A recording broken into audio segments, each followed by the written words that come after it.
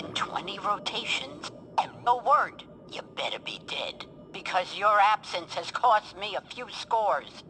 Remember our mutually beneficial arrangements, and how well we know one another, if you know what I mean.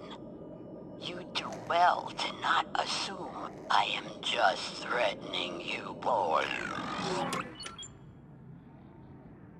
You didn't mention you cut ties with Cid.